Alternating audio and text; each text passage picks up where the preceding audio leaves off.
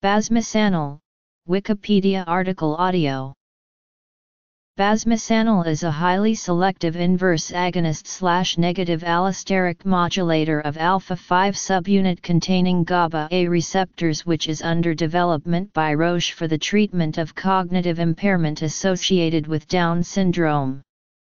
As of June 2016, it is no longer studied.